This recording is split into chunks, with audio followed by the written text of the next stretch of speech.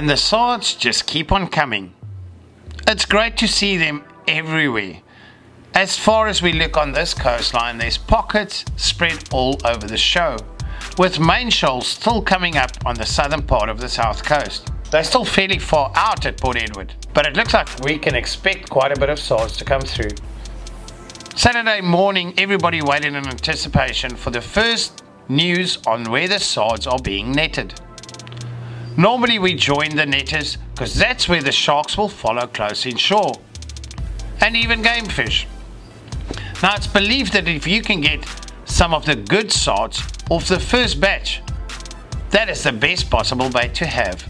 And if you're there at the right time, you can do just that.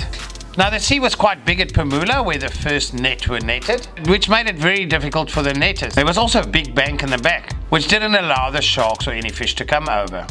Unfortunately there wasn't much action there and everybody waited around for updates on news of where the sardines are netted elsewhere.